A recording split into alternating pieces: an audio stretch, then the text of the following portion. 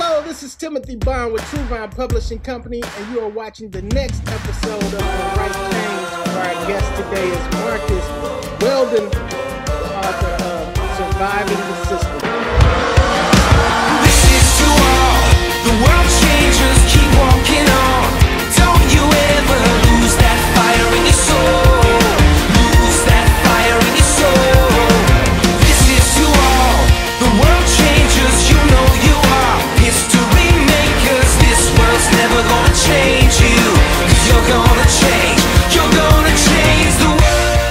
Congratulations! You've taken the unique and amazing step of writing a book and signing your name on the pages of history. Perhaps you've completed your manuscript, or maybe you haven't written the first word. Wherever you are in your publishing journey, TrueVine is here to give you the tools, resources, and support you need to succeed and make a lucrative career as a writer. The TrueVine Bestseller Training Program is a comprehensive storehouse of training videos, literature, and coaching sessions, providing all you need to know about how to effectively write, market, and sell your book. As a member of the cohort, you'll also gain access to the TrueVine Success Accountability Team, have access to free weekly 30-minute one-on-one coaching sessions as needed, receive marketing and planning resources to shorten the learning curve, and connect with a network of like-minded, success-driven authors and professionals. Register today for only $499.99. What's How you doing? up, Marcus? Man, good to see you again, man. Good to see you again, man. It's it's been a a, a while. Uh, many people may know this who if they follow us, but you were the first interview on the Write Change. Yeah. Uh, and now we come full circle, almost two years later. And uh, I remember back then you were telling me about some goals that you had, and I'm excited to be able to talk about that today. Give you an opportunity to uh, share what you what you've done and the things that you're doing um, in Detroit, man. So I'm looking forward to this interview. How's everything been going for you, man? Everything's been going uh, pretty good. Uh, obviously, it's been a crazy year and a half for the entire world, Yeah. but uh, it's it's created some opportunities and a little bit of uh, hurdles, and and uh, but all overall, everything's been going good. Awesome, awesome. So I want to give you a little opportunity here to kind of tell uh, tell the people who you are. Uh, tell who is who is Marcus Weldon, man. Man, I wear a bunch of different hats, man. So uh, we're gonna, we're gonna start with the author. Okay. I'm an author, uh, True Vine published author, right? Um, yes, the world so. Right, right. Yeah. So, I mean, a lot of people remember my first edition of my book was The Santa Shooter Guilty It's Proven Innocent. Mhm. And I revamped it and just changed the cover and uh, uh, minor uh, minor changes to the title with uh, Surviving the System, the story of the Santa Shooter. Mhm. So, my story uh, uh, was a self defense story that took place in Detroit back in 2014 and um, ended up uh, costing me ton of money and almost 30 years in prison when I had to defend a, defend a young lady. And I had to shoot two people in self defense, and um, I had to prove myself in court, and it went national news because of the Santa suit, and um, I mean, my entire life went upside down and changed completely. I mean, it, it threw me on a course to become eventually an author, a public speaker, and a, a national uh, uh, uh, spokesman on different gun right topics and mass incarceration topics on different shows, and here I am today. Uh, and it was I was exonerated in 2016, and here I am today. Yeah, I didn't want to. I didn't want to uh, uh, gloss over that. Um, for those who don't know about the Santa shooter, uh, Marcus was, you know, minding his business late night in a Santa suit and with a young lady. Uh, Yeah. You know, after a party, Yeah, and uh, you know, like you said, had to defend himself. And praise God, luckily, you know, he got the better shot of the two. And uh, but the, the the true essence of your story, when I read it, was really understanding how the the judicial system and the criminal justice system really railroads uh, black men um, even when you're not doing anything, when you didn't do anything wrong.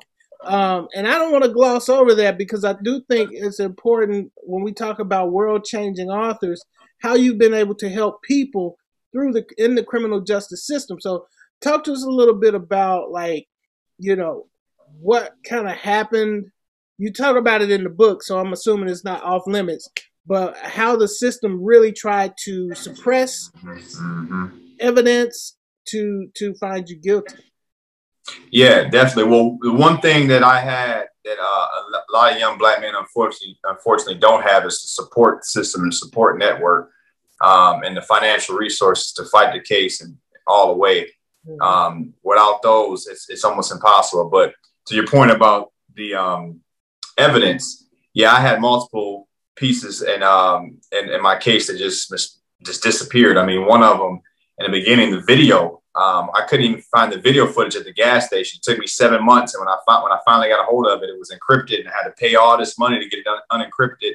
Mhm. Um, and so that was seven months to, to finally get a finished product of a video that should have been just exculpatory evidence. I should have just got that from the prosecutor in the beginning, um, which because of course it helped prove my innocence. Right. And then another thing, uh, witnesses disappearing that were very vital in the case that had gave statements on my behalf that should have been um, admissible in court, but since they um, they weren't there to testify, when it's because they disappeared, we couldn't use those statements, which affected me because they were positive statements, telling the truth. Mhm. And I, I learned very quickly that uh, there's a lot of ways you can keep evidence and um, exculpatory evidence out of the hands of the defendant if you know the uh, how to work it. And the prosecutor obviously has a ton of a ton of time on the job, and they know exactly how to work it. Right.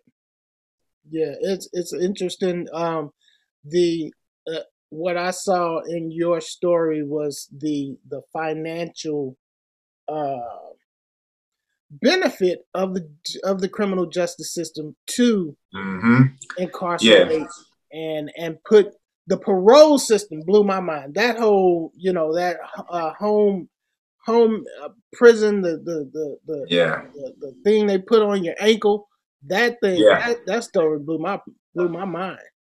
Yeah, I got a chapter in the book, as you know, uh, chapter seven, uh, called House Arrest, and that really depicted House exactly what I went through um, after being bound, after after being bound, uh, uh, bailed out from the Wayne County Jail, then to go on house arrest and a kind of like a debtor's, I call it a debtor's prison, where you're debt, you're paying uh, about four hundred bucks, three four hundred bucks a month to uh, wear this ankle bracelet, Right. and If you, it- you can't really work because you can't You- be away from home for too long. You can't be away from home. You got certain hours, and if it dies, because it's just like a battery, it's like a charging of a phone. If it dies, you can be subject to go back to prison or back to Right. uh, jail. I mean that So- that just blows my mind, man. You know that that just blows my mind. This is uh this is why I think your book is so powerful.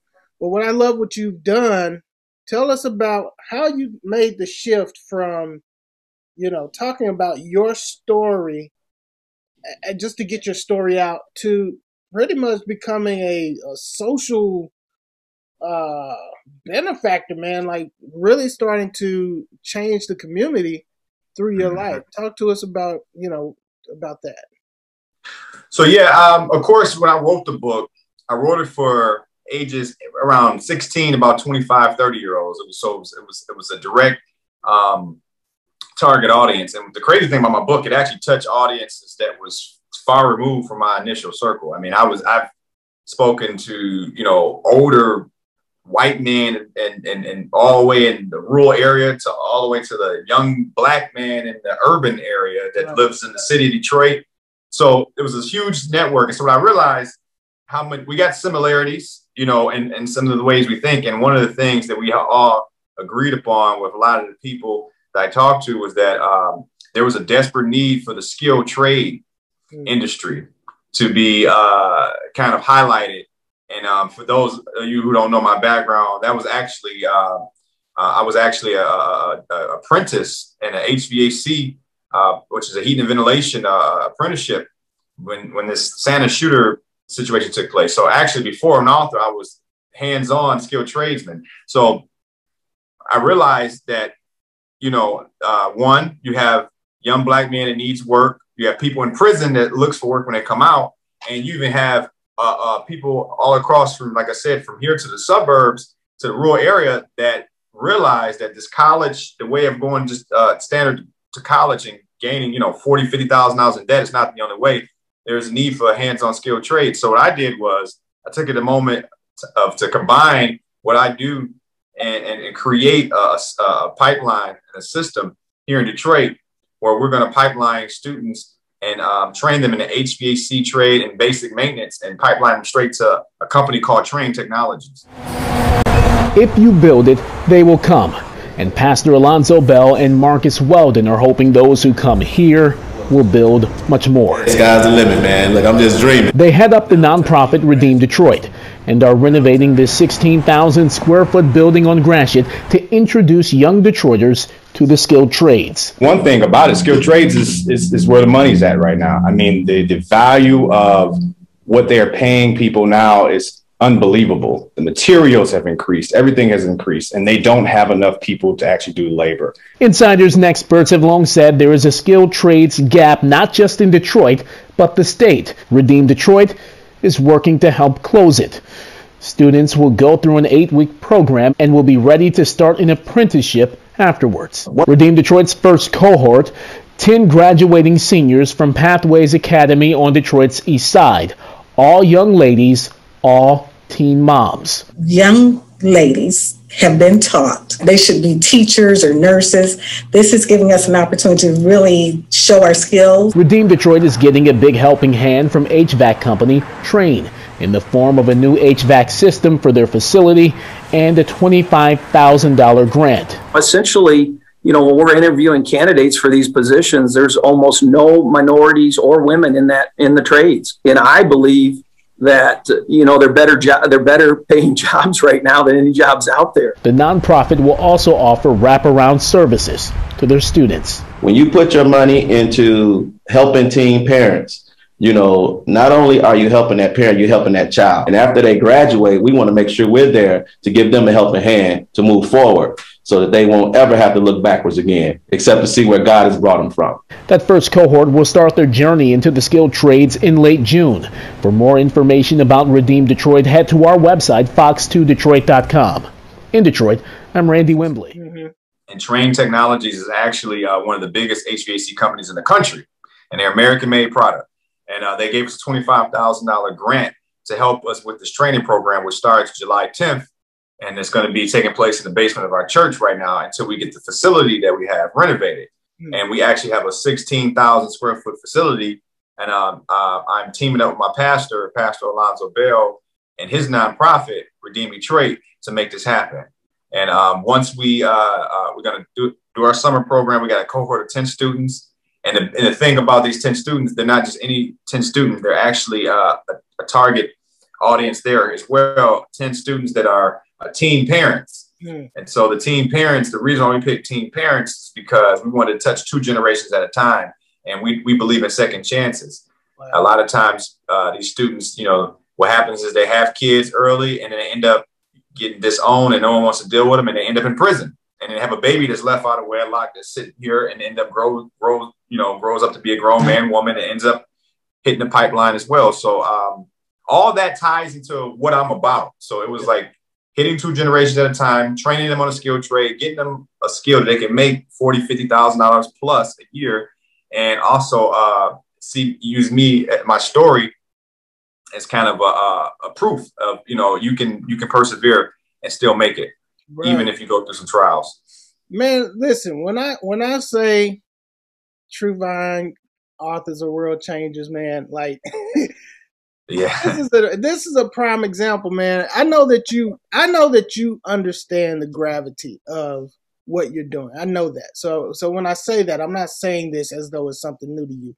But for you to be able to change the lives of young people in an area where they're, diff, where they are disenfranchised, um, where where they may not be able to get into college. I mean, you're looking at young teenage, um, you know, uh, pregnant girls. So college may not be a practicality for them. um, and then you're providing them, them this uh, empowerment to get a career where they can make good money. I mean, HVAC, you make good money doing that, um, and to partner up with uh, a major um, industry uh, leader anyway.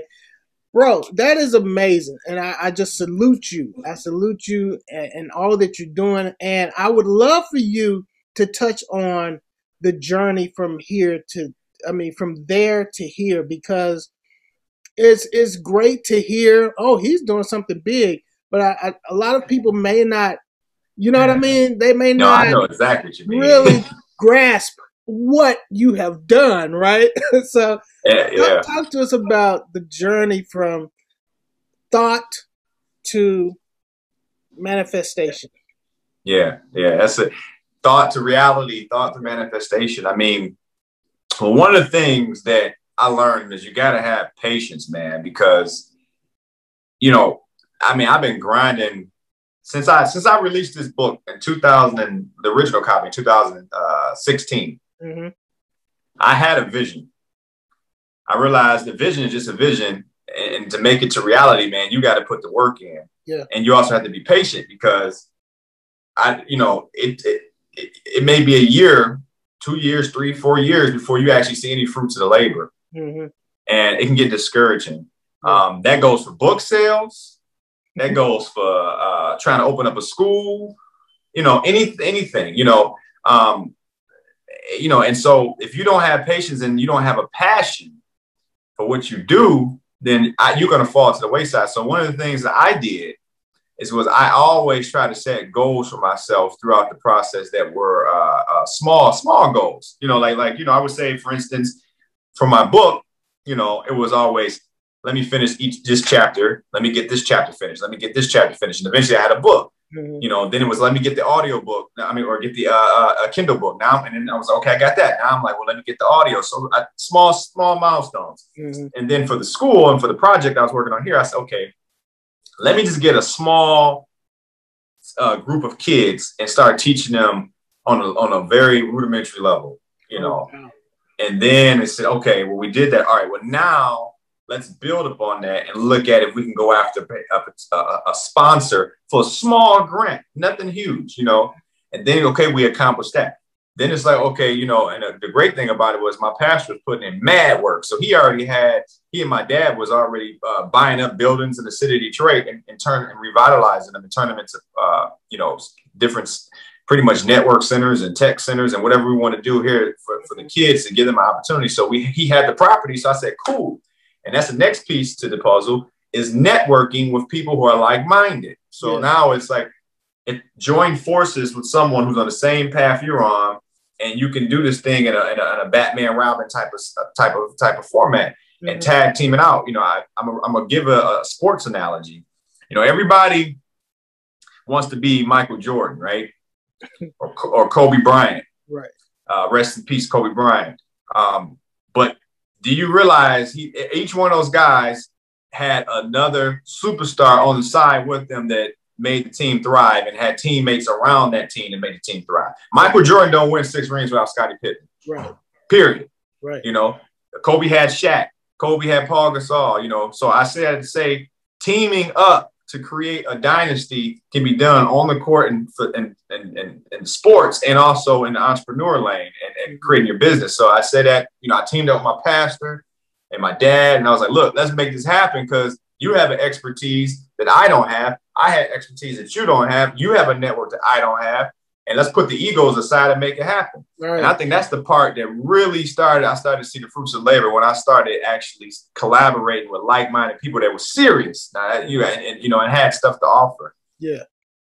Uh, one one of the things that that I really uh like about you, man, is you understand the power of investment, right?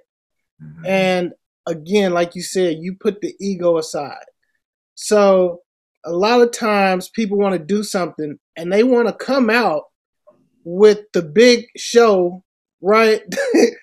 uh, they want to put it on Facebook as, as social media from the beginning. But I don't think I've seen you working with a little small group of kids on air conditioners on social media. I could be wrong. I don't, you know, Yeah. but I don't think I've seen that. But yet here we are. This is what you've been doing, you know, in the background all this Right. time, right? Because of the passion for what you truly want to do. And uh and so the power in what you're saying, man, is like find that thing that you really you would do if nobody else knew you were doing it. Right. Because eventually, once you get to a certain point with with that passion, the light will shine on you. Period. Right. Um. So that's that's awesome, man. That is awesome. How'd you get the the uh, get to this huge company, man, and the twenty five thousand dollar grant? Like, how'd you work that out?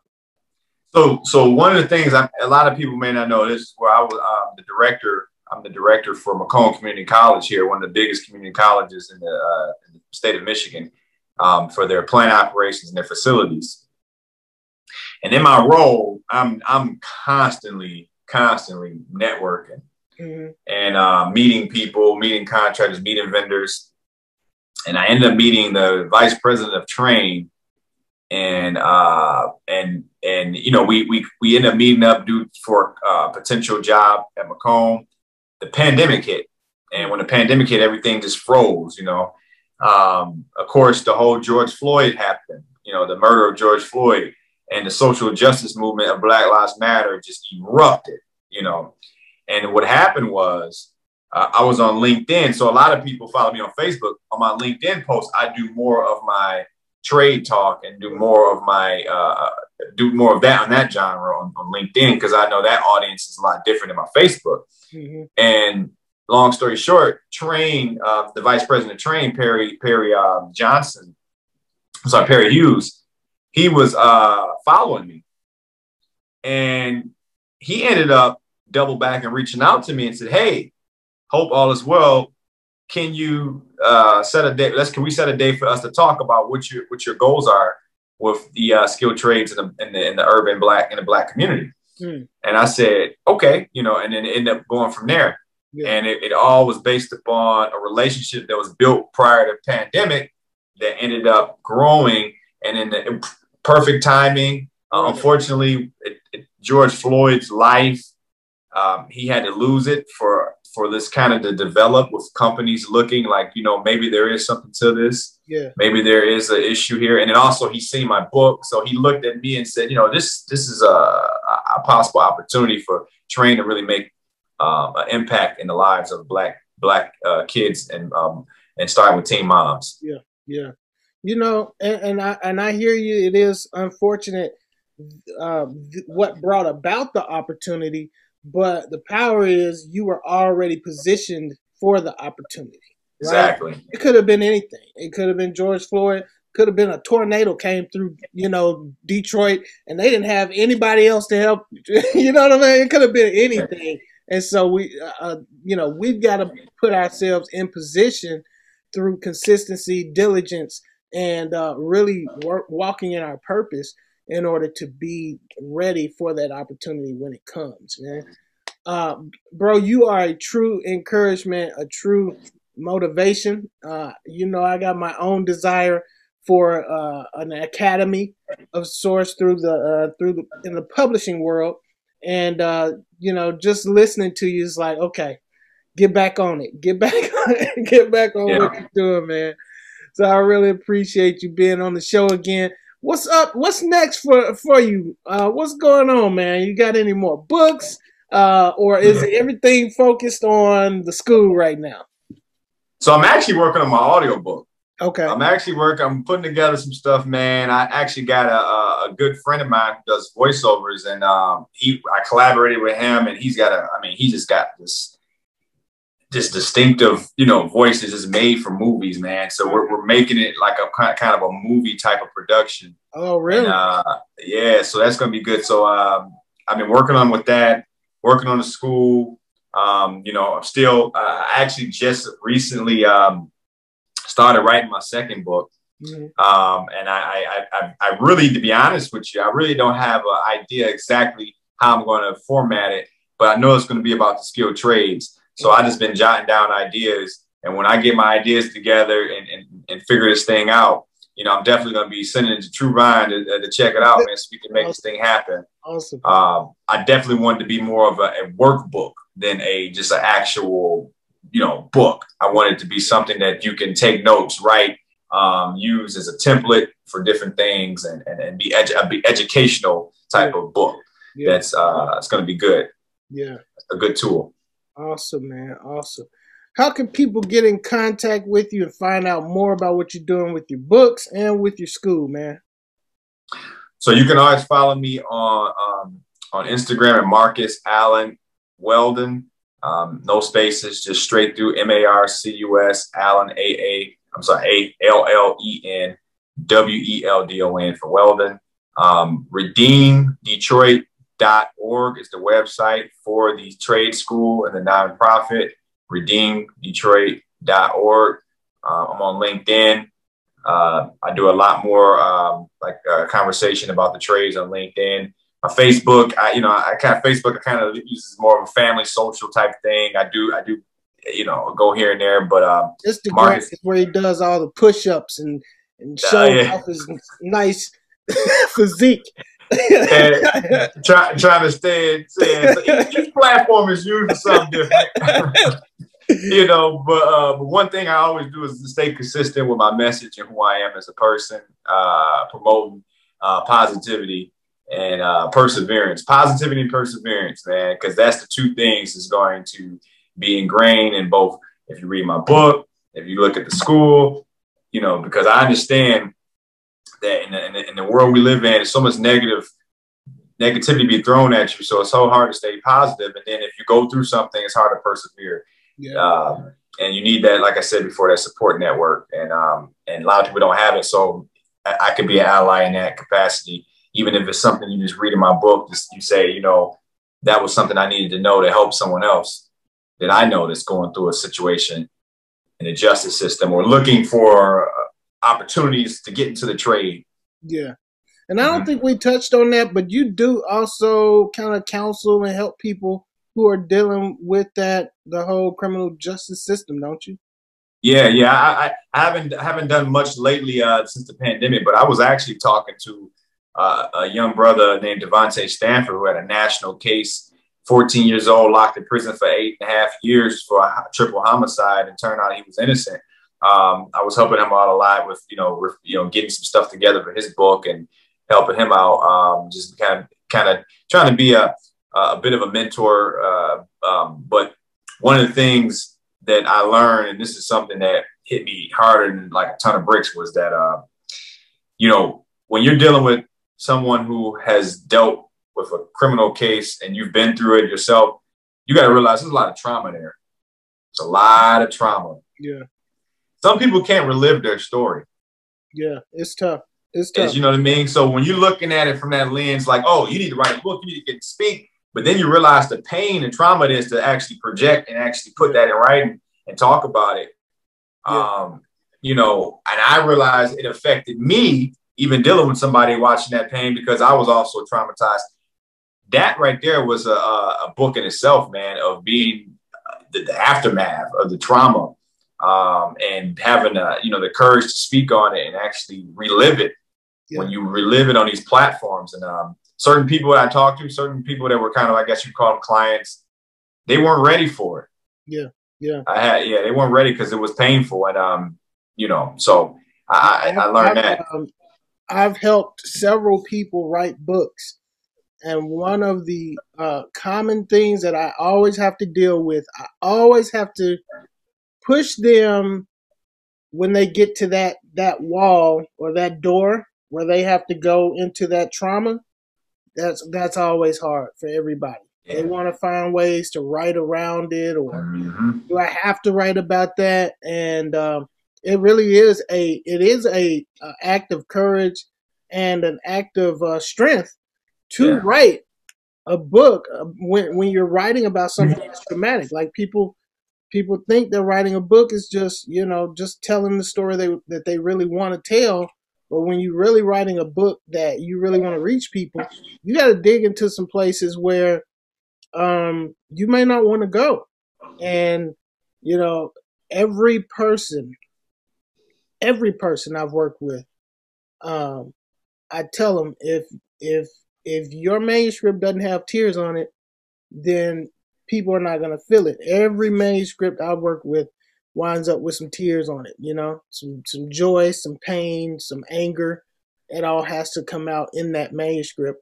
So it is. It is definitely a. Um, it's a. It's a. It's a work of love when you write a book. And actually, I'm glad we went there because I usually will ask, like, if you had a tip for a writer. So we kind of just already touched on it. that's Yeah. that's a tip that you could definitely take take home if you're an aspiring writer. You know, to know that it's not just you know you're not just gonna write a few words. You really got to dig deep. gotta dig deep, man. You got, and I, it's it's tough. It's tough. I had writer's block. How that kind of stuff happened to me because uh, I was actually going through my case, and I was working with uh, a book coach, Mhm. and sh- and uh, and uh, Tiffany Tiffany Lewis was my book coach. and Ended up becoming kind of a almost like you know a counsel, a counselor almost for. Um, you know, I, I found myself, you know, kind of venting and, and releasing uh, some of the pain. So she she really seen, you know, me going through the whole process. So Yeah. it helped. That helped a little bit for me because I I needed somebody to talk to. Oh man, writing a book is definitely therapeutic. Um, and you're right. It's good to have somebody who you can do it with, who can allow you to have those moments, but can also keep you writing, you know, and keep the book moving forward. Bro, it- it's been great talking to you again. I I, I definitely look forward to um, uh, many many more things uh, that we we can partner with in the future. Um, I appreciate you being on the show. Everyone, please like and share this interview with Marcus Weldon and uh, follow us on YouTube at TrueVine University. Follow us on Facebook at The Write Change Podcast. And you can find our podcast on any audio podcast platform. Marcus, I appreciate you, man. You have a wonderful day. Thank you, man. Good talking. change you.